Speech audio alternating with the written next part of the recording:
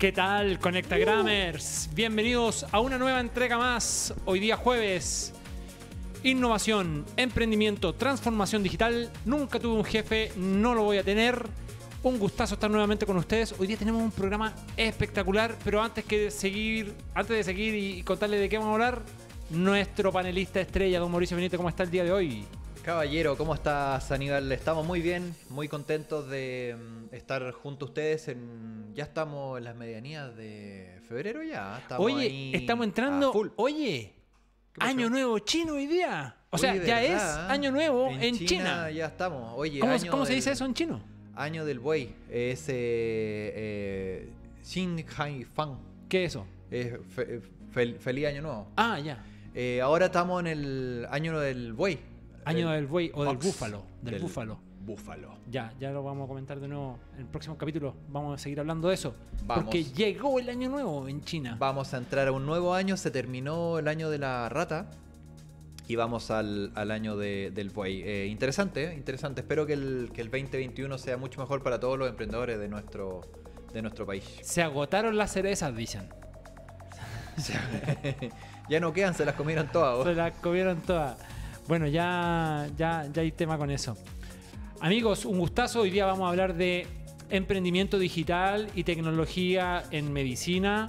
Vamos a hablar un poquito de servicios también. De hecho, ya venimos con eso. Vamos a hablar también de PropTech. ¿Ah? Y vamos a hablar de un grande en el emprendimiento, en la historia de emprendimiento. Así que vamos con las tendencias. Tendencias.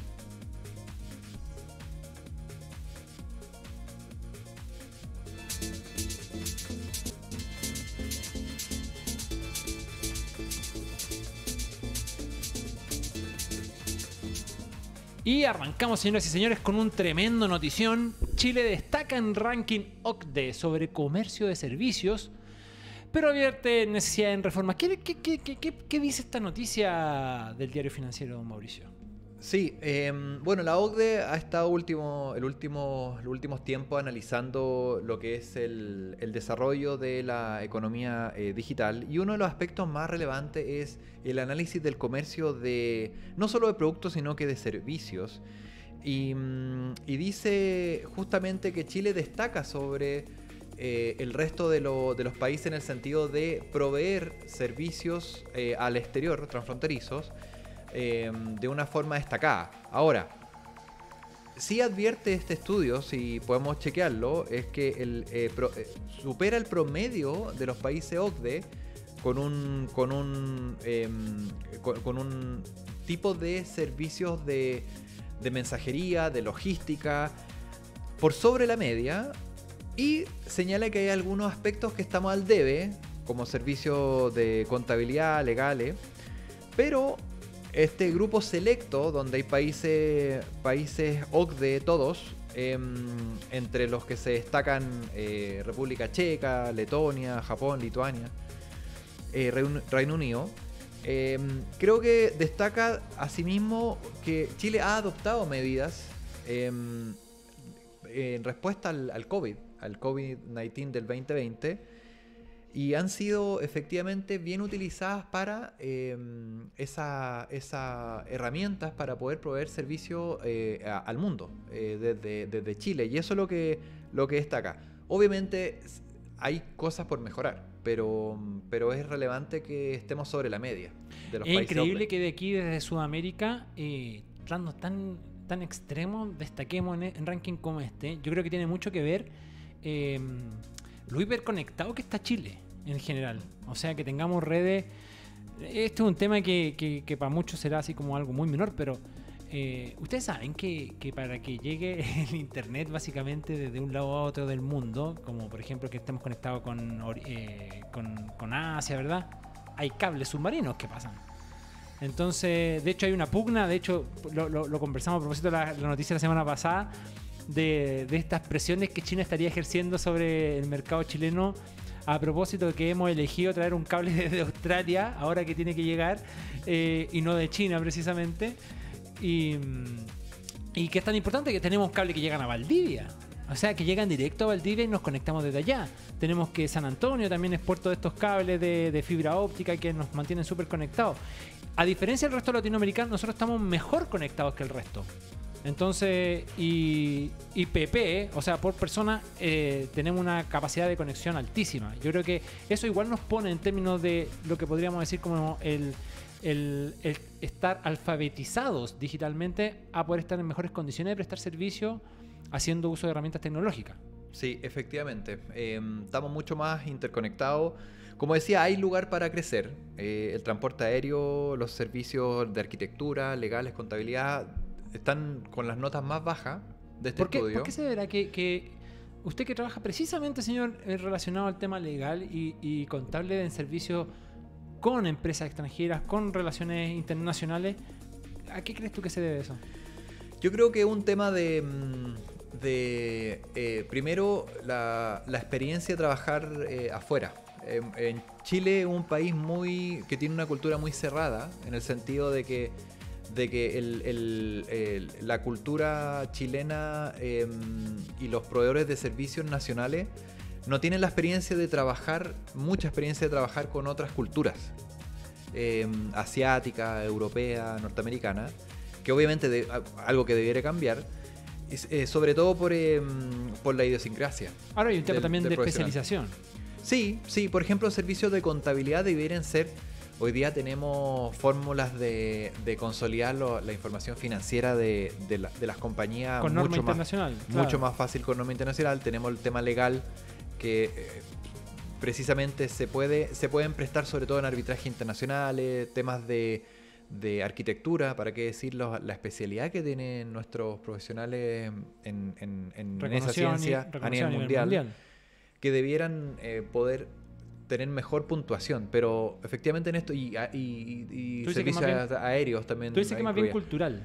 Yo creo que es cultural. eh, nos falta nos falta trabajar más eh, eh, los servicios profesionales, entregar entregar esos servicios a todo el mundo, eh, no solo al, al chileno, a la empresa chilena con esa idiosincrasia. Debiéramos eh, también una barrera idiomática importante, el tema de, lo, de los idiomas, el manejo el manejo del inglés, porque generalmente va a ser el lenguaje de la, de la provisión de servicios que no se maneja de buena manera por, por nuestros connacionales y es una realidad. La- la- no todos son o bilingües o tener al menos la forma de, de comunicarse en inglés. Entonces creo que hay algunas barreras que hay que superar para prestar servicios profesionales a- al, al resto del mundo. Claro.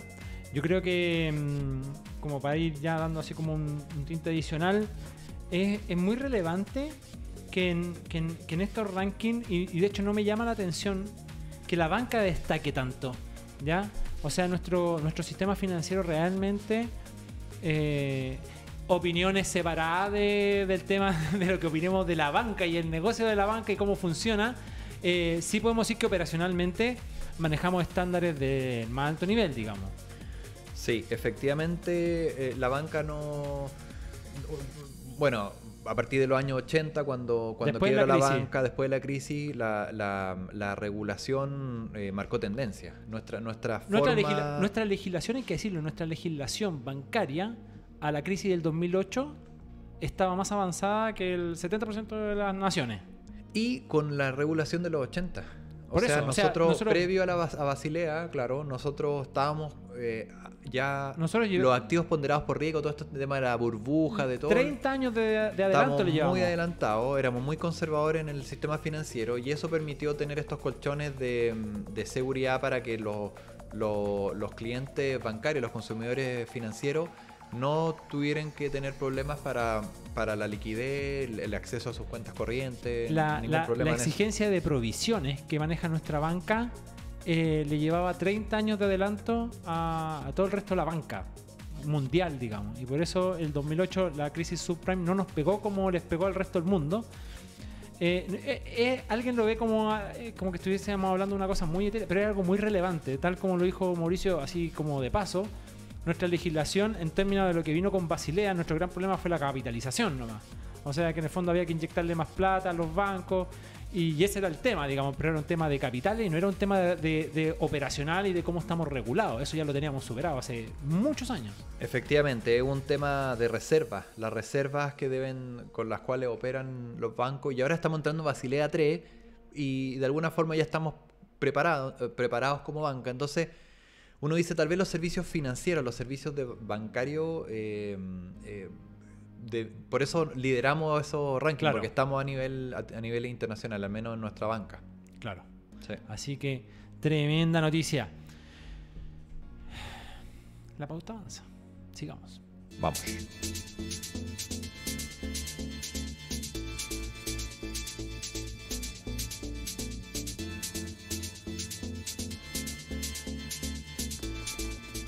Y hoy día, señoras y señores, estamos con la historia de un grande. Miren, ¿Quién es?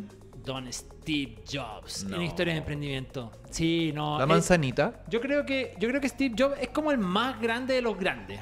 ¿Cómo? Miren, no fue el que ganó más plata. Pero yo creo que ha sido el hombre con más visión y el un transformador. Un transformador. A mí eh, él es una persona que es un personaje que genera odios, rencores y al mismo tiempo genera mucha admiración.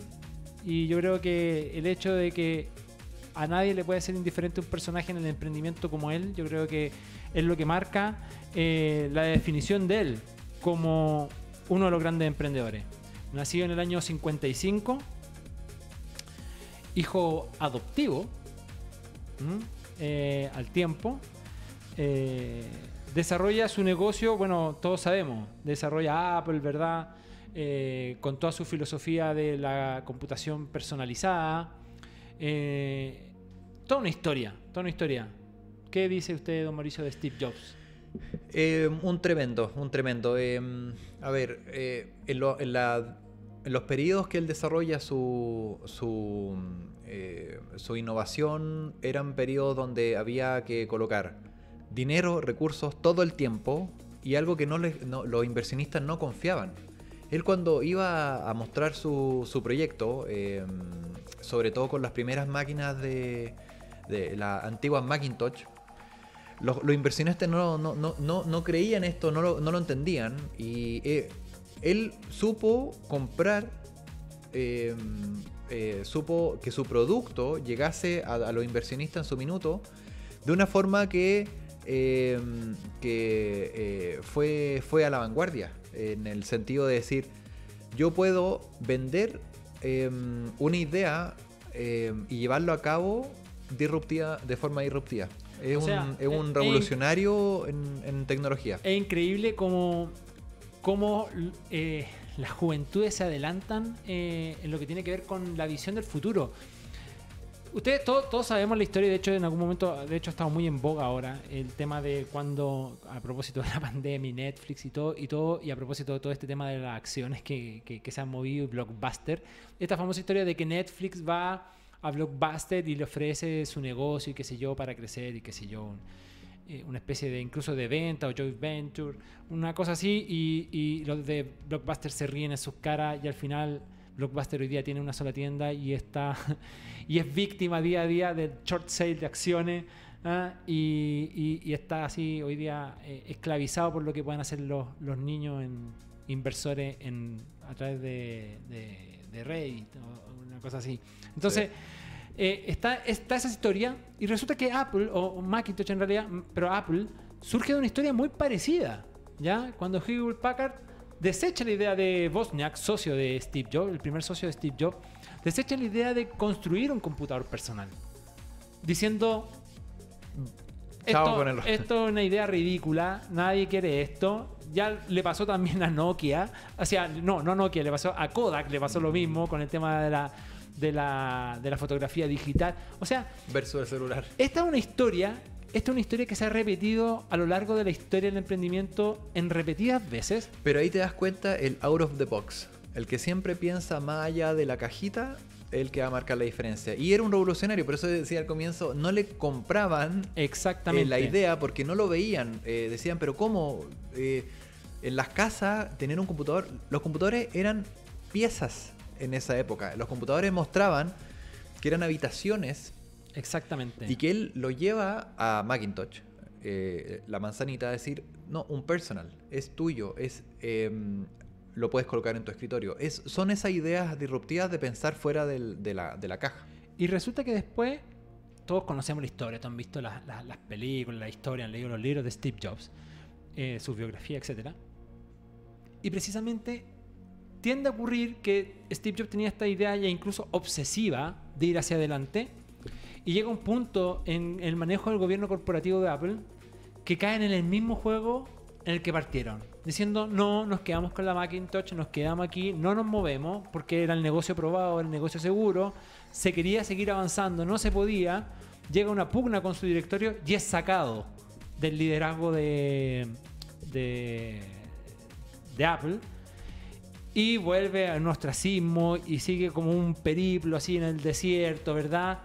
No dejando de emprender con esta idea obsesiva.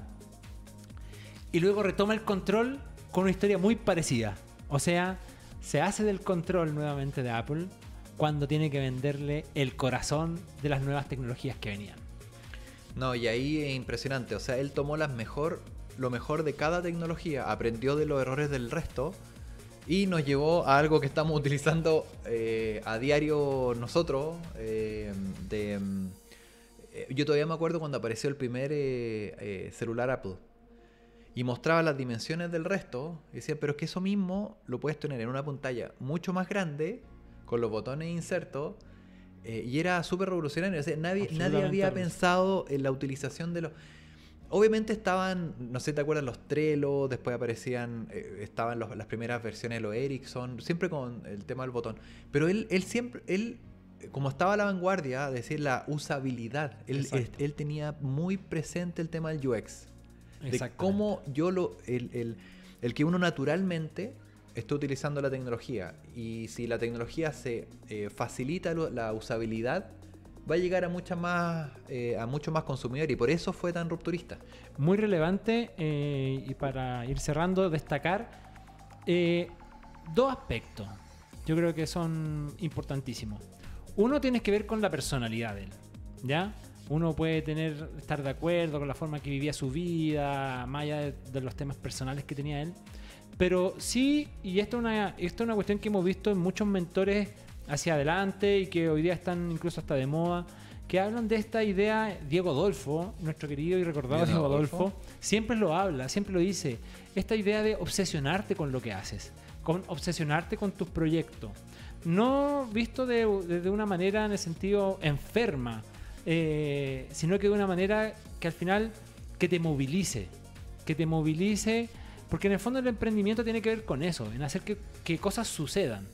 Entonces, eso es lo primero destacable. Y lo segundo, que tiene que ver con una forma de liderazgo que, que es muy difícil de, ojo, es muy difícil de aplicar, dada la cultura empresarial de- que todos habitualmente conocemos, que es esta idea de las startups, en el fondo. Porque podemos decir que es como un- él es como un creador de este concepto, donde él divide su tiempo en las distintas unidades de, de- de control o de trabajo de, de- su empresa, pero no con un liderazgo absolutamente vertical. De hecho, contra eso fue lo que él siempre luchó al interior de su organización y por eso trabajaba con equipos de desarrollo, pero siempre dedicaba y fraccionaba su tiempo para dedicarle a cada aspecto del negocio, pero en una idea, con una idea bastante más horizontal eh, respecto al funcionamiento organizacional. Algo muy, para temas de liderazgo, algo muy recomendable, de, de impulsar los eh, mini liderazgos de, por equipo de trabajo eh, y rodearse de los mejores. Siempre se ha dicho por los mejores líderes que mm, uno, uno quiere contar con los mejores líderes, o sea, los que, los que em, te rodeen de ideas, te rodeen de liderazgo y em, si uno está dispuesto a pagarle a alguien es porque ese alguien te va a entregar ideas. Y, ahí yo creo que el equipo de Steve Jobs fue, de lo mejor de lo mejor en, su tiempo. O sea, lo catalogaron como el peor y el mejor jefe a la vez. O sea, era, era lo peor que te podía ocurrir por su forma, por, por un montón de temas, pero al mismo tiempo era lo mejor que te podía ocurrir porque sacaba lo mejor de ti. O terminaba forzándote a que vieras lo mejor de ti. Su- Suena parecido a los técnicos de fútbol cuando, cuando te sacan te sacan lo mejor. Se eh, transforma en un coach, una cosa. no. Es, muy, es muy raro, pero, pero hay un tema a, a masticar. El más grande, según yo.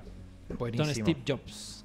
Oye, eh, acá antes el saludo, ahí me están Ah, saludito. saluditos, están ahí, me dicen, bueno, eh, mándate un saludo en chino, me- me- me- ahí me dicen la pronunciación.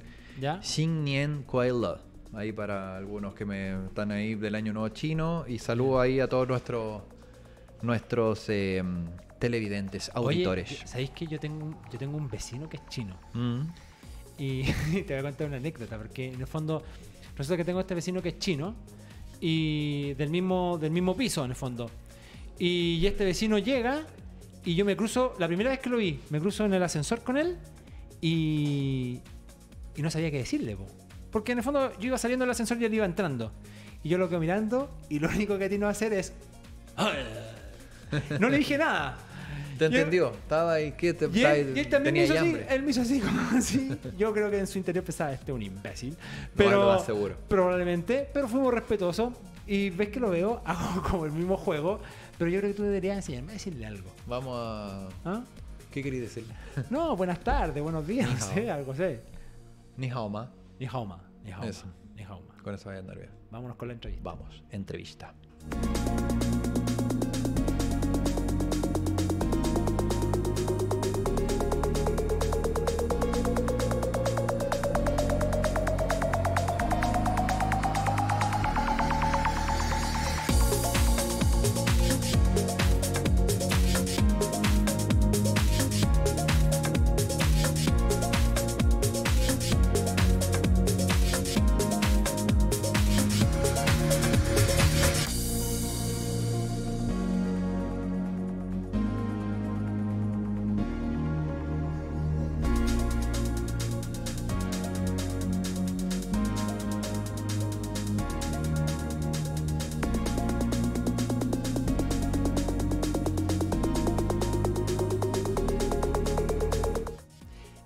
Hemos vuelto, señoras y señores, amigos Connectagrammers. Y el panel se amplía. Hoy nunca habíamos estado tan No, ampliados. es que ya estamos, efectivamente, la, la- la- las cuarentenas, Mm. eh, la pandemia nos, nos ha forzado a mantener esto Sí. bajo control, pero hoy día nos permitimos crecer un poquito más. Tenemos dos grandes invitados de un, un gran nuevo emprendimiento, una startup que está partiendo. Oye, increíble, ¿eh? Vamos con, señores, aquí estamos hoy día, nos acompaña don Gary Vázquez, CTO, y don Diego Ibarra, experto en estrategias de negocios de Infomed. Ya les vamos a contar un poquito qué es Infomed, ¿ya? Pero mire, yo les doy la recomendación. Entren a Apple Store o Google Store, esas cosas donde usted baja sus aplicaciones y busque Infomed. Y haga clic. Google Play, todas las... Estamos en la versión 1.2. Partimos Exacto. hace un mes Un con mes. la primera versión y ya estamos aquí y estamos y vamos a hablarles, señoras y señores, del dominio y del control de la información médica. ¿Con quién parto? ¿Con Diego o con Don Gary? Contigo. Don Diego. Diego, tanta Bienvenido, luna. Don Diego. Aquí se conocen, bostoniano, aquí se- bostoniano. Se, conocen los chicos, se conocen los chicos que han estudiado en el extranjero. Diego, cuéntanos, bienvenido. Muchas gracias por recibir nuestra invitación y cuéntanos qué es Infomed. Oye, primero, muchas gracias por la invitación. Qué bueno, qué bueno verlo. Eh, Infomed. Infomed es una aplicación que te permite tomar el control de tu información médica. ¿ah? Una, una cosa clave que hoy día tú, te- tú tienes contigo, ¿cierto? La información más importante, la información de tus finanzas, la información de tu trabajo, la información de tu familia. Y nos dimos cuenta que lo que tú no tienes hoy día es la información más importante, que es tu información de salud. Sí, Con todo esto del COVID nos dimos, ¿cierto? Es un tema ya evidente. Entonces Infomed es una plataforma que te permite tomar el control de información, te permite guardar, organizar y compartir de manera, de manera inteligente y segura toda tu información médica y la de tus seres queridos. Perfecto. Fantástico. Don Gary, cuéntenos. ¿Cómo surge esta idea de trabajarlo a través de aplicaciones? ¿Cómo funciona Infomed en la práctica? Mira, yo creo que fue un muy buen momento técnico en el que nos juntó la idea del negocio con la oportunidad y el tema revolucionario que es el tema cloud, almacenar, portabilidad. Y yo creo que fue un momento clave en el que to- todas esas corrientes eh, se juntaron y pudieron dar a luz algo, una idea tan buena que hace rato, hace rato andaba dando vueltas, que es como Infopet, que en el fondo es la idea concreta de cómo organizo mi salud. Y con mi equipo técnico logramos llevar esta idea a cabo, eh, implementando todas estas tecnologías muy modernas que, que nos permiten este tipo de soluciones y llegar a lo que tenemos ahora, que en el fondo es la versión 1.2, como tú comentaste, Sí. de Infomed, Mm. con- que de a poco va a ir creciendo y implementando nuevas funcionalidades. Gary, te quiero hacer una pregunta te- porque te quiero llevar al tiro a un punto que la primer, el primer día que nos contaron de Infomed, nosotros veníamos hablando hace mucho rato y yo sé que usted me va a responder la pregunta que necesito, que la respuesta. Nosotros veníamos hablando hace rato del blockchain. Claro. Entonces, y en algún momento dijimos, ¿sabe qué? La primera día que nos dijeron Infomet y se trata de esto, nosotros dijimos, ¿y va a llegar con blockchain? ¿A qué me explico? Me, me- me explico, queridos amigos que están ahí escuchándonos. Se está diciendo que la forma más segura de mantener la información médica en el futuro será el blockchain, para poder transitar con toda esta información en todo el sistema de salud. Cuéntenos, ¿vamos para allá? Vamos totalmente para allá. Y yo creo que lo que tú dices es verdad, pero hay muchos más beneficios asociados al blockchain, aparte de lo que tú me dices que en Sí, el fondo sí. de seguridad. También permite mucha interoperabilidad. Como ¿Ya? el tema del- de la salud médica hoy día es casi una tierra de nadie, te permite un poco definir un estándar de cómo se va a compartir, qué voy a compartir, con quién voy a compartir a través del blockchain. Y otra característica importante del blockchain es que tiene inmutabilidad. Quiere, quiere decir esto que eh, yo tengo información segura y que nadie puede venir y cambiármela sin que yo pueda como darme cuenta o permitir esto. Entonces podemos dar como distintos alcances de acceso a información y van totalmente de la mano. La información médica con el blockchain se puede ver muy beneficiada a través de estas características. ¿El futuro de la salud de Chile está ahí entonces? ¿En el manejo de esa, de, esa- de disponer de, de ese modo de la información médica? Esperamos poder generar la atracción suficiente como para poder implementar el blockchain a un nivel médico y que haga sentido y todos nos veamos beneficiados. Vamos para allá. El futuro, ¿vio? Es interesante. ¿eh? El tema, el tema blockchain, como ven, bueno, partió con, con los Bitcoin y el sistema, el sistema de criptoactivos, eh, pero ya está llegando a la, a la- al biotech, ¿cierto? Que po- podemos determinar que, estamos en el mundo del biotech. Ahí, en, en- en ese sentido, ¿cómo, cómo ha visto Gary el, el- llevar el UX, el UX Experience el del, del- que utiliza esta información, siendo que es una, tecnología tal vez eh, alejada de los usuarios de esta, de esta información? ¿Cómo va a ser el, el look and feel del, del que va, va a estar utilizando eh, la información médica? Claro, eh, lo que tú mencionas es clave porque aunque el protocolo duro como blockchain es muy fuerte, Sí. está muy alejado de lo que es el usuario final. Entonces con Gabriel, que es el otro integrante del equipo, estamos trabajando constantemente en mejorar el look and feel y en la sensación de la, de la aplicación directa al usuario. Que sea como amable al final de cuentas. Sí, Claro. porque si no va a ser muy abstracto, ¿no? Claro, porque la, la gente ve la tecnología muy lejana a veces Mm. y esto y siempre es tratar como de acercarla de una forma amigable. Bien. Oye, yo tengo una pre- pregunta, Diego. ¿Cómo, para el tema de datos, eh, bueno, llegó la normativa europea, el tema de los datos, en Chile va a pegar fuerte. ¿Cómo, cómo ha sido, eh, y, sobre todo la en, el punto de vista estratégico, cómo, cómo se ve eh, en Chile la- y Latinoamérica todo lo que es la, la protección de esos, de esos datos? ¿Cómo, tiene- ¿Cómo van los estudios de, de Infomed al respecto? Mira, eso es un- una súper buena pregunta, ¿eh? Mm. porque cuando tú lanzas un- una aplicación tratando de solucionar un problema, eh, es siempre obviamente muy bueno, pero si ese problema además va a estar potenciado por un cambio en la regulación, ¿cierto? Un cambio normativo, es aún más obvio que van a haber soluciones que se necesiten, ¿cierto? Mm. Con lo que tú mencionas, el estándar europeo, el GDPR, GDPR. justamente, que es, el, es el- el estándar que va a decir quién tiene acceso a la información médica personal, Mm. quién, eh, dónde se almacena, cómo se almacena, cómo se accede, eh, cómo la puedo compartir, cuáles son los protocolos. Estados Unidos tiene algo similar que se llama el HIPAA, que son muy eh, complementarios, digamos así, transversales. Y eh, obviamente nosotros lo estamos mirando porque para allá va. O sea, imagínate lo que puede ser para un médico. Ah, todo es un médico, tienes una operación, tienes un diagnóstico y el doctor lo primero que dice es, aquí está mi WhatsApp, ¿cierto? Mándeme un WhatsApp y yo le renuevo la receta o si tiene cualquier problema, contácteme. Eso es una, va a ser un breach, ¿cierto? Va a ser un, Sí. una- un riesgo legal súper importante para los equipos médicos. Entonces, para nosotros es clave lo que llamamos el chat seguro, para los médicos puedan hacer seguimiento a los pacientes, mejorar la atención, mejorar su servicio al cliente, al paciente, pero además protegerse del punto de vista eh, legal, cierto, normativo, siguiendo con un chat seguro que pueda seguir justamente con esto del GPR. Para nosotros, eh, la solución de un chat seguro pasa a ser clave para los dos lados de la transacción, digamos, para el paciente, para estar seguro que él está hablando con su médico y con nadie más, eh, y por el lado del doctor, saber que el doctor está cumpliendo, ¿cierto?, con lo- las normativas de su liga. Imagínense una tontera, pero. Imagínense que yo le mando una respuesta a una, a una pregunta sensible a mi doctor y el doctor tiene el, el WhatsApp abierto ¿ah? en, la, en, la, en la sábado al domingo, frente a la familia, frente a los niños y qué. Información Ese tipo sensible. Para bien. nosotros, para nosotros, el dolor que resuelve, eh, en, en primera línea, el- los dolores que resuelve Infomed son muy obvios.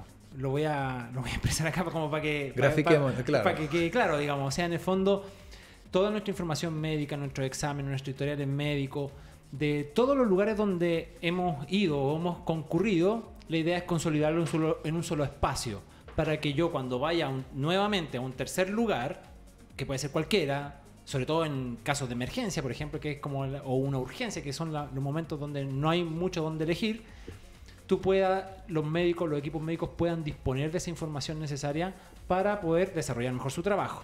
Ya, dado eso, esa es la base, digamos, con la que, cuál es el principal dolor, porque hoy día, si tú te enfermas eh, y vas a un hospital y vienes saliendo de una hospitalización en otro lugar, probablemente esa información no va a estar disponible y esos, esos doctores residentes, el residente que recién llegó, que, que está en un turno 12 de la noche, va, va, va a notar lo que tú le contaste y probablemente que no te acuerdes ni del 20%. Entonces, ¿o no? Eh, Exactamente, oye, qué bien dicho. ¿ah? Si, eh, si en resumen, ¿cuáles son los dos problemas que uno trata de solucionar? Uno es eso, que tu diagnóstico médico mejore porque le estás entregando la información eh, necesaria a tu equipo médico, más aún en emergencia. Y segundo, ahorrar plata del bolsillo. Hoy día es increíble el gasto de bolsillo en Chile. ¿ah? O sea, el repetir exámenes, el que yo llegué con el examen con una mala resolución, el, el que el doctor no confía que está bueno ese examen y te lo vuelve a hacer. o tú- Claro. etcétera, etcétera. Entonces, uno es asegurarte que tú tienes todo siempre contigo, no hay que hacer doble exámenes, no hay que volver a repetir nada, ahorrar plata. Y segundo, el mejorar tu salud, el diagnóstico médico, producto de que le entregas realmente toda la información al Claro. equipo médico para que pueda darte tu diagnóstico. Perfecto. Oye, y entremos al negocio. Eh, veo que ustedes pueden entrar ahí a la página web de Infomed, tuinfomed.com. Ahí van a conocer un poquito más en detalle y ahí incluso los manda a los sitios de descarga de la aplicación. Pero veo al final de Infomed, así como, como que no quiere la cosa, UDD Ventures slash Corfo. Han tenido apoyo. De... ¿Es Yoshi o no es Yoshi? Cuéntenos, ¿cómo ha sido esa experiencia? No, fantástica, fantástica. Sí. Seguro, que no va a decir no, ha sido pésima. Muy buena. Eh, tuvimos la suerte, obviamente, a través de la aceleradora de la UDD, postulamos a un Corfo, al Semilla Inicia, Perfecto. Eh, y eh, obviamente tuvimos la suerte de ganarnos ese cuerpo, ya, ya lo terminamos, rendimos cierto todas las, las mentorías que fueron muy muy buenas eh, y fue realmente bueno por varias cosas. Para hacerlo bastante corto. Uno, el acceso que tienes a mentores por diferentes áreas. Nosotros somos un equipo yo creo bastante balanceado, pero del punto de vista técnico en medicina, del punto de vista de escalar a gran, ¿cierto? De escalar internacionalmente eh, software en la región. O, eh, en términos de eh, poder manejar algunos eh, temas de marketing. Son, cosas que toda empresa siempre necesita y tener visiones de un, de un buen equipo de mentores siempre es bueno. Yo creo que eso, eso y, el, y la rigurosidad adicional, o sea, tú puedes cierto tener tu ritmo de, de- de reporte, de, de minutas, etcétera, pero cuando alguien más te pone un nivel de rigor encima de eso, te, te ayuda a moverte rápido. Así ahí que- tienen los speed mentoring, todos esos Sí, que sí. son bien especiales los mentores ahí en la UDD, anda bien. Yo tuve la, la- la- la suerte de decirle que, que también para un poco payas, yo cuando llegué de vuelta a Chile, eh, haciendo estrategia de, de BCG, ¿cierto? A, a- a Chile, me invitaron a ser mentor de la UD. Entonces, cuando nos ganamos un cuerpo, ¿dónde más nos íbamos a incubar? Que obviamente la, acelera, la misma aceleradora de la UD. Perfecto. Eso, eso lo aprendió en Boston Consulting Group, ¿no? Ah, exacto. Los bien. tiempos de Boston. Boston, Oiga, Gary. Bostoniano. Gary, cuéntenos. A ver, hoy día estamos con cierto nivel de tecnología que va a ir mutando probablemente. ¿Ya? ¿Para dónde van? ¿Cómo, cómo, cómo- cómo es el desarrollo en, en términos, a ver, me, me quiero explicar mejor. Eh, hoy día yo tengo ciertos estándares de manejo de la aplicación. Yo lo manejo en archivo, los exámenes, el historial, cómo se maneja en la práctica para después hacérselo llegar al- a los equipos médicos y cómo, hacia dónde vamos. ¿Dónde crees tú que vamos a llegar en un tiempo más? Háblame un poquito del futuro. Sobre, sobre todo, un poquito de lo que hablaban los muchachos en cuanto a la regulación, sobre todo, cómo se van a manejar, cómo, cómo conversa esta tecnología con la tecnología que disponen hoy día los centros médicos, básicamente. Eh, claro, mira, el tema es que vamos a crear una aplicación especial para doctores donde en el fondo se va a poder en el fondo compartir con los doctores y ellos van a poder Ah, acceder. ok. Y aparte hay unos portales que son los que están los links en el sitio Perfecto. de doctores y de pacientes donde ellos también pueden como jugar con sus exámenes, ordenarlos y compartirlos sin ningún problema. O sea, la aplicación conversa con el sitio. Claro. Ah, en el fondo tienen como una base en común centralizada y de ahí tú puedes conversar a través del sitio o de la aplicación. Ok. ¿Y hacia dónde vamos? Bueno, la idea es que de a poco generemos más tracción generando el tema de comunidades y, y en el fondo poder llegar a más gente para que en el fondo vean la importancia de, de las cosas que podemos lograr juntos. Ya que en el fondo ellos nos dan un poco la, la fortaleza de ir con lo que nosotros podemos construir nuevas funcionalidades o ir creciendo. como lo que tú decías, que el blockchain es un camino, pero también está el tema de las comunidades o del KPI o muchas, muchas cosas, se pueden hacer muchas cosas en conjunto. Y que no solo nosotros nos veamos beneficiados, sino que los usuarios finales también. Hay que crear Me- un ecosistema, yo creo, ¿no? Claro. Sí, o sea, mira, yo creo que do- dos puntos súper importantes del futuro de dónde va esto. Por un lado, lo que dice Gary, ah, que es el Big Data, Big Data Analytics. Imagínate lo que puede ser, que hoy día lo vemos en las aseguradoras de auto, donde te dicen, ¿sabes qué? Tú eres, tú eres mayor de 60 y por tanto uh, eres- eres riesgoso, te cobro un seguro gigante. Y en Estados Unidos está pasando mucho, y aquí en Chile también ya. Entonces lo que dicen es, yo te pongo estos, estos inerciómetros en el, comp- en el- en el auto y yo detecto si tú aceleras o eres brusco o te pasas el motor muy rápido, etcétera. Y si no, y si me doy cuenta que eres un conductor seguro, te cobro menos. Entonces la gente se ve beneficiada por su conducta real, ¿cierto? El, el- Customer Segment of One. Ya, ya no eres una población genérica, sino yo soy capaz de evaluarte a ti mismo, a ti personalmente. Entonces imagínate, el futuro va a ser que de manera anónima yo puedo identificar y tener mucho más eh, visibilidad de dónde está realmente el riesgo en cada población, qué población no es riesgosa y debería poder cobrarle menos o darle más beneficio, etcétera, etcétera. Eso es todo un lado muy, muy fuerte. Ahí nos está hablando un poquito del modelo de negocio, Mauricio, apriétalo para allá. Estamos, estamos sacándole acá la información.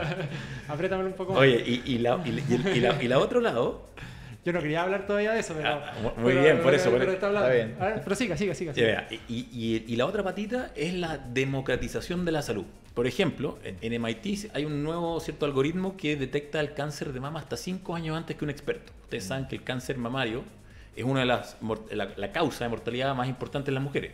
Entonces, imagínate lo que puede ser que tú estás en Infomed, eres una mamá que se te hace una mamografía, ¿cierto? Cada, todos los años después de los 35, eh, y Infomed solo te sugiere, ¿sabes qué?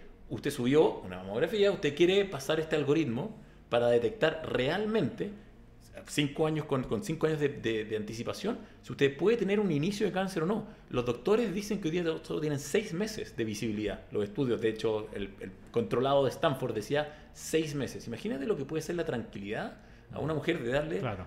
cinco años de visibilidad. Ese es un ejemplo de para dónde va el futuro. Imagínate lo que puede ser cualquier algoritmo que se esté desarrollando en Estados Unidos, en Europa, que tú lo puedes hacer accesible a la gente. No, increíble. Y ahí, eh, Diego, tengo una, una consulta. Se, ha hablado mucho de un sistema unificado de información por país. Eh, Ustedes, como también pensando en el futuro, hoy día no, no, no, no tenemos nada claro sobre eso. eh, ¿cómo, ¿Cómo ven ustedes la posibilidad o de co-trabajar en un sistema integrado en Chile, por ejemplo, que se establezca de manejo de información eh, de, de- de esta Big Data en, Chile? ¿Cómo, ¿Cómo lo ven? ¿Les van a tocar la puerta? ¿Ustedes van a querer conversar con, eh, con las autoridades? ¿Cómo, ¿Cómo se viene ese tema? Mira, siempre hay que conversar y siempre hay que colaborar. Ahora, la realidad, yo creo que todos conocemos el, tema del hospital digital, las iniciativas que hay. Eh, el problema es que de, de la idea a la práctica va a haber, un, va a haber mucho tiempo. Mu- Mucho, mucho tiempo y el Estado va a tener que hacerlo con colaboración de privados, obviamente como nosotros o muchos otros. Eh, si tú hablas con la gente que está en, ah, en la primera línea, que nosotros como tenemos dentro de nuestros usuarios muchos doctores, hemos hablado con gente del Sotero del Río, de hospitales grandes públicos, y te dicen, mira, si, si como idea es fantástica, pero en la práctica los recursos no existen. Eh, el computador que estoy usando, el tiempo que tengo para llenar la interfase que existe en el, en el- en el hospital, No es la misma de. Claro. no es la misma, no tengo la infraestructura. Si yo le empiezo a exigir hoy día con lo que existe a los doctores, o sea, te- tenemos que atender a un quinto de los pacientes, etcétera, etcétera. Entonces va a tomar mucho, mucho tiempo que esto realmente se pueda implementar unificadamente. Lo que yo creo que va a pasar va a ser que va a haber estas colaboraciones, se van a empezar a juntar actores que tienen grandes cantidades de usuarios y se van a, se van a generar protocolos abiertos para ir, ir compartiendo la información. Perfecto. Bueno. Y sobre lo mismo, Gary, ¿cómo, a ver, me pongo los zapatos de, de un usuario y, y dependiendo de, independiente de, de- o sea, una preocupación para mí sería si es que yo tuviese alguna enfermedad de base, alguna enfermedad crónica, de, de un diagnóstico reservado en términos de, de- términos de privacidad, ¿ya? Eh, alguna enfermedad delicada, digámoslo. Eh, hoy día, ¿cómo, ¿cómo nos aseguramos, valga la redundancia, de que esté segura la información? ¿Cómo, qué es lo que, qué inf- ¿Cómo Infomed rese- resuelve los temas de seguridad de la información del usuario? Para eso están los auditores, po. No, no. Auditores pero, haciendo los chequeos Pero de- me refiero a dónde está. cómo, dónde está respaldada la información, porque estamos hablando de que el caudal de información y de exámenes puede ser gigantesco, digamos, en algún momento y, y- y tiene que estar seguro, digamos. Claro, en ese punto estamos a la vanguardia en cuanto a las tecnologías y a los protocolos de seguridad que implementamos, lo cual eh, minimiza mucho el riesgo de que se vaya a filtrar algo sin tu consentimiento.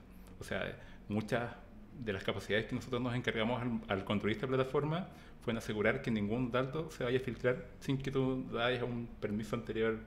Entonces, estamos totalmente enfocados en que ese es un peligro inminente y vamos a ir avanzando constantemente en eso. Y la idea es mantenerse en la vanguardia y, como te digo, ya estamos implementando muchas tecnologías que nos ayudan a protegernos de eso. Así que por ahora estamos seguros. O sea, es uno de nuestros eh, puntos críticos, por así decirlo. Perfecto, sí, porque supongo que es así.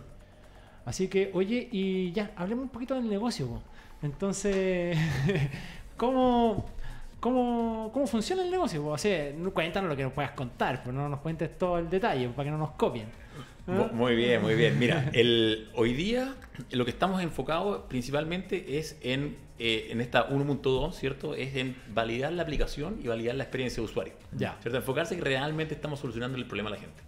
¿ya? Entonces, hoy día, de hecho, para los, para los auditores de Radio Touch tenemos un, una- un anuncio, si, si A se ver, permite. Eso, a ver, muy a bien. ver, a ver. Eh, les queríamos dar a los primeros 2.000 usuarios, ¿cierto? Seis meses, perdón, miento, eran 12 meses, todo el... Un el- año. A ver, a ver, un a ver, a ver, año. A ver, a ver, don Gabriel, ¿cuántos meses son?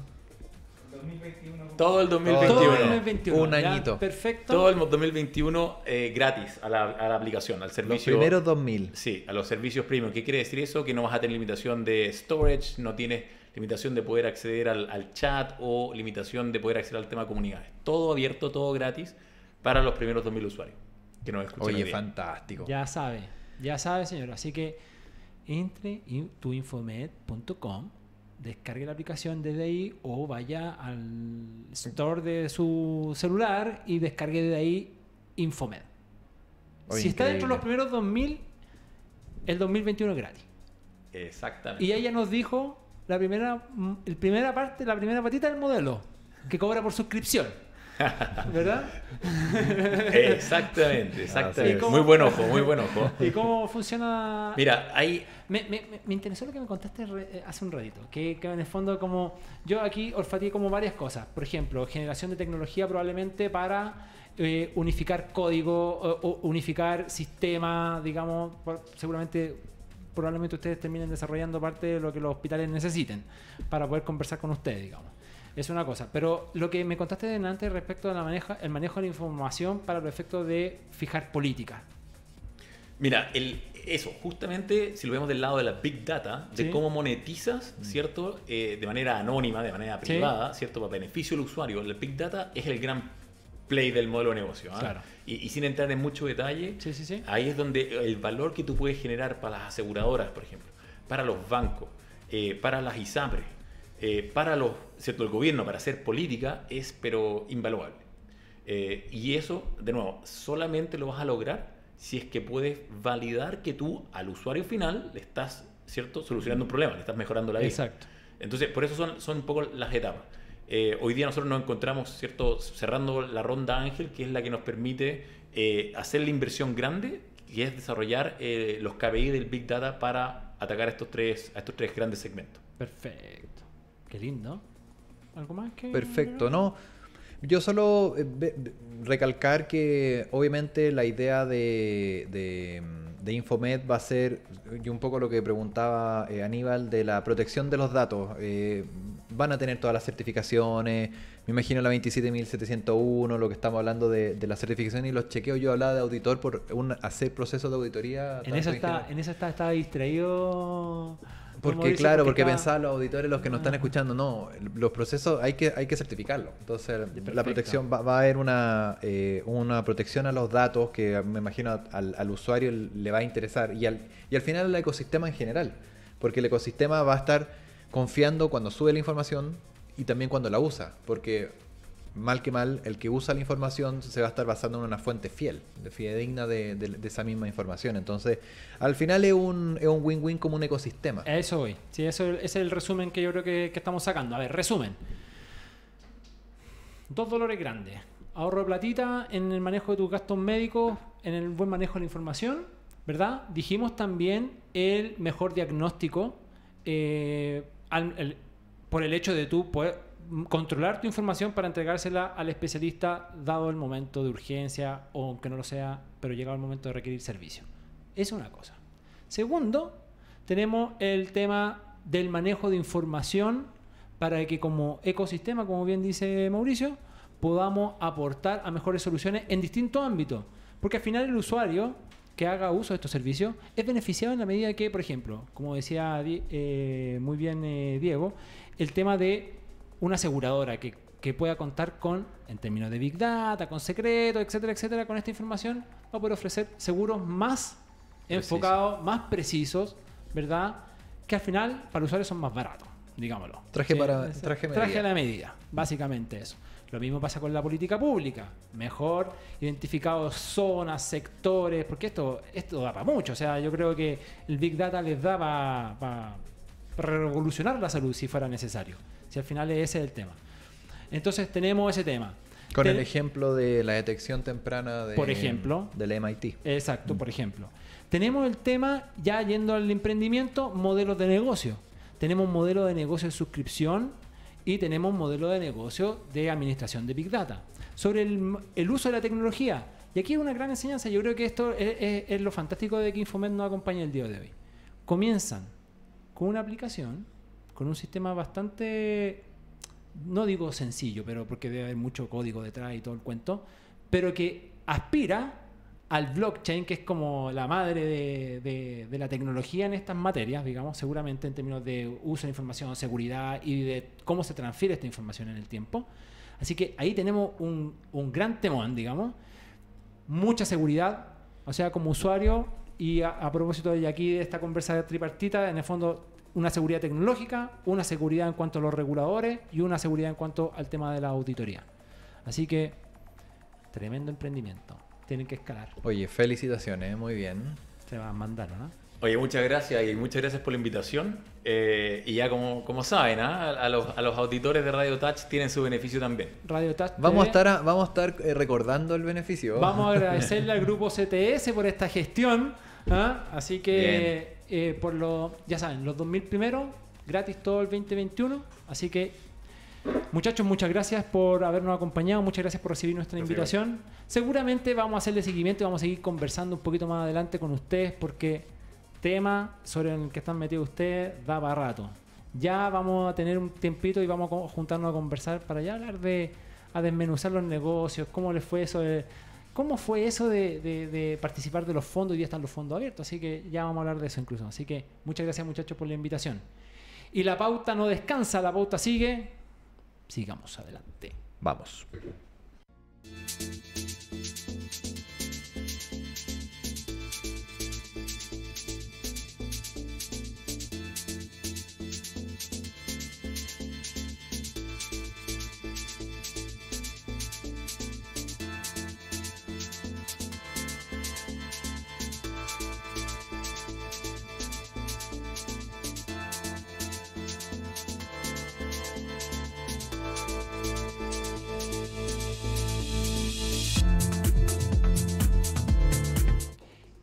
Hemos vuelto ¿Qué pasó? al consejo de la semana. El consejo.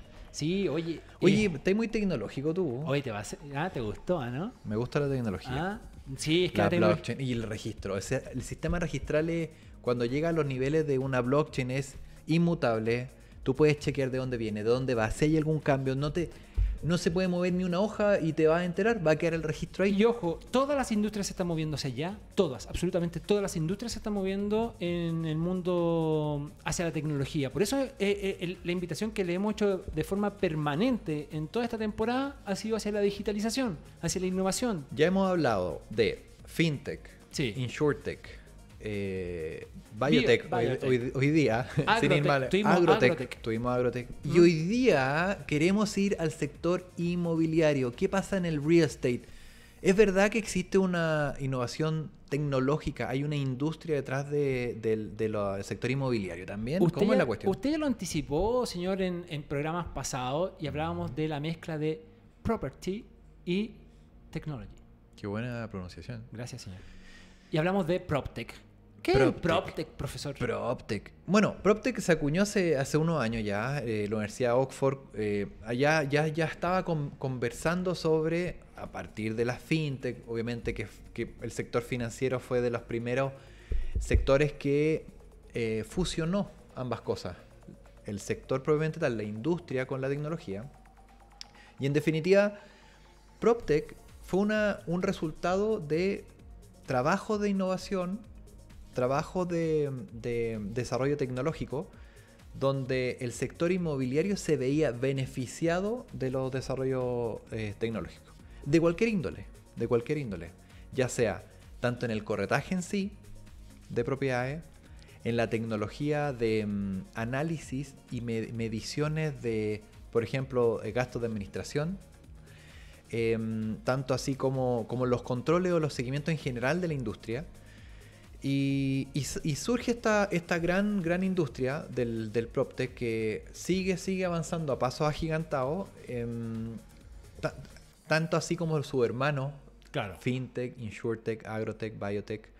eh, y, y creo yo que, y, y teniendo un primo gemelo medio mellizo, que es, que es el Construtech, Claro. que es justamente la parte de la construcción con tecnología, el tema de los diseños, la, arqu- la arquitectura, la construcción en sí, La domótica, etcétera. Todo lo que viene ahí, el Internet de las cosas. IO- IoT, todo eso sumando. Construtech.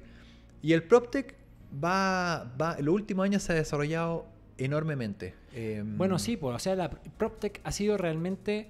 Yo diría que es como el hermano menor de, de todas las tech, dado que. Esta es la razón, según yo, que es humilde, mi opinión, humilde. Eh, dado que el- el- los bienes raíces, el, el corazón de los bienes raíces, de hecho, había como un, un- un- un- un dicho históricamente. O sea, tú cuando te preocupas de bienes raíces, tienes que preocuparte de tres ideas: ubicación, ubicación y ubicación. Y cuarta, ubicación. Uy, claro, entonces había una obsesión con el tema de lo territorial, porque obviamente estábamos hablando de tierra, pero, pero había una obsesión con lo local, más que lo territorial, con lo local.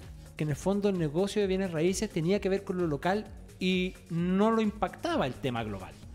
Entonces, eh, todo el enfoque siempre del negocio del real estate estaba enfocado siempre en pequeño y reducido espacio.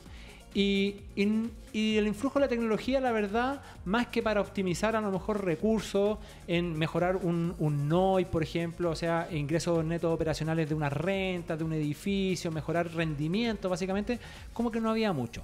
Pero la verdad que la transformación comenzó sin darnos cuenta hace algún tiempo atrás, pero que se intensificó en lo último. Después se le puso un nombre, se le denominó, pero ya, ya existía. ya existía. O sea, nosotros tenemos los portales inmobiliarios, eh, dominados en Chile por el portal inmobiliario.com, que hoy día es de Mercado Libre, por eh, otros portales. No voy, a dejar, voy a tratar de no dejarlo afuera para que no crean que estamos promocionando, TokTok, GoPlaceit y varios más, digamos, em, que son actores que vinieron a, a cubrir ya un primer problema que existía por lo menos hace 20 años atrás. Que la única forma de tú tenías para saber la existencia de algo en venta era yendo al proyecto directamente, a su sala de venta en caso de cosas nuevas, o buscar una oficina o un corredor.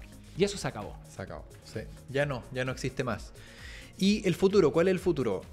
Por ejemplo, hay desarrollos, eh, PropTech en, en Asia, en China probablemente, tal, en Hong Kong, donde todo el análisis de, como tú, tú bien decías, de los gastos y de los recursos, el análisis de, de- de eficiencia en, en- para ge- generalmente los administradores están súper evolucionados.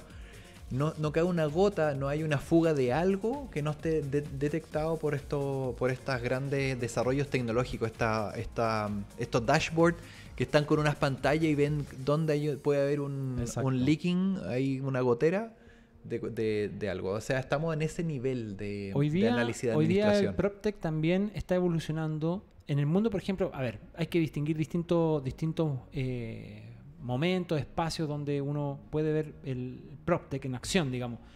En la intermediación es donde estamos sufriendo y experimentando grandes transformaciones. En la intermediación, de hecho, el corretaje de propiedades, se los digo, amigos, esto es un anticipo, ¿ah? esto es un anticipo y un regalo. Estamos con la bolita de cristal acá. la bolita de cristal y me dice, ¿Qué que dice? existe un 95% de probabilidad de que el trabajo de corredores deje de existir de aquí a 10 años más. Uh, lo dejo ahí.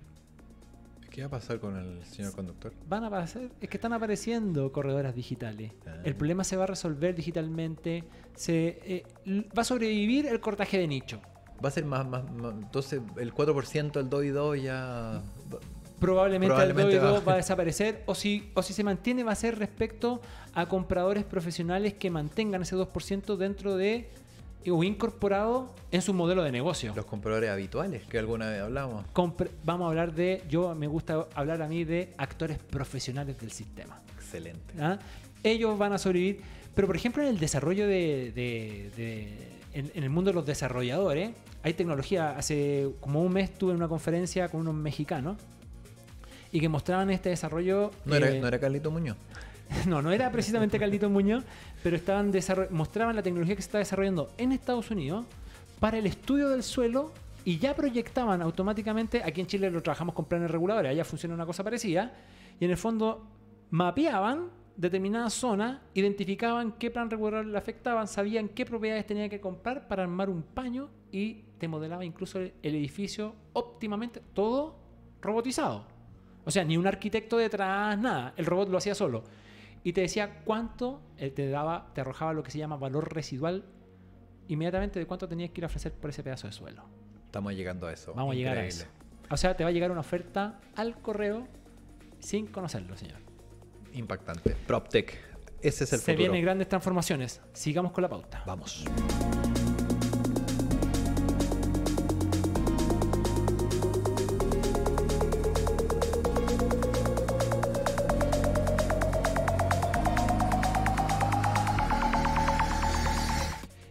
La recomendación, señoras y señores, para el día de hoy no es nada más ni nada menos que la biografía de Don Steve Jobs de Walter Isaacson. Mira, ¿te gustó? Cuéntanos. Esta, ¿De qué se trata? mire, este es un libraco. De Libraco. verdad, De verdad que es un libraco. ¿Es autorizado o no autorizado? Esta es absolutamente autorizada. Ah. De hecho, esta eh, recopila más de 40 entrevistas. Esta es, una, esta es una biografía. A ver, yo creo que esta es una de las pocas biografías que no solo encarga el, el biografiado, Mm. ¿ah? sino que además él motivó a los entrevistados y al entrevistador a que a- las entrevistas fueran, las entrevistas fueran lo más y absolutamente honesta posible, como primera cosa, A calzón quitado. a calzón quitado. Y segundo, tiene la particularidad de que Steve Jobs pidió no leer nada hasta el momento de su lanzamiento. O sea, él no quería en el fondo censurar lo que iba a salir de esa biografía.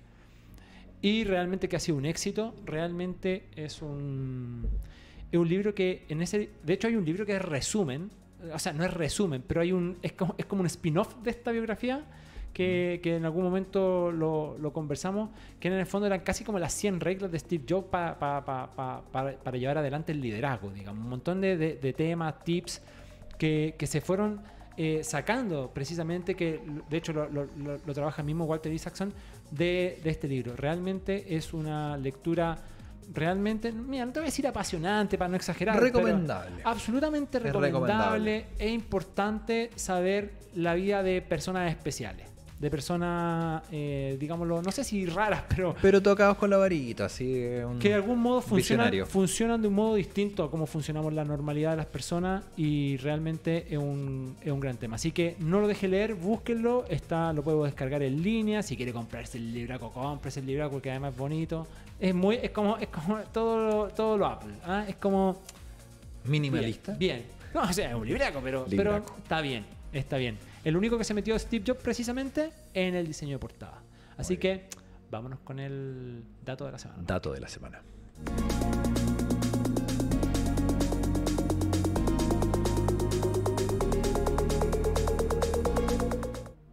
Y el dato de la semana, señores No. y señores, Corfo. Ya Capital aquí- Semilla. Se abrieron los fondos, tuvimos aquí a nuestro invitado que se ganaron nuestros capitales. Eso sí. ¿Ya? Y están abiertas las postulaciones Capital Semilla Inicia, Semilla Expande, ¿verdad? Y todo con un foco, obviamente, a la reactivación de la economía nacional. Oye, muy buenos los subsidios de hasta 15 millones de pesos. Que es un, 15 empuje- es un y- buen empujón para el semillín y se 25. expande hasta 25. 25. Entonces, Y hay una extensión de los 25, tú puedes solicitar 20 adicionales en el expande. ¿eh? exacto. Buenísimo. Es- Hasta el viernes 26, ¿no? Exacto, hasta el viernes 26 ¿De ojo, febrero? Sí. Viernes 26 de febrero, entre corfo.cl.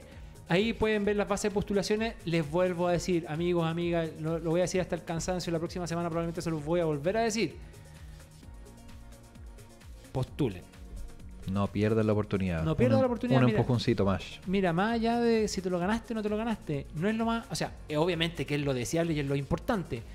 Pero el proceso que vive hacer este trabajo es fundamental. Es fundamental para poder llevar tu negocio al siguiente nivel. Sobre todo si estás emprendiendo y partiste, estás con un- Deja de que sean ideas.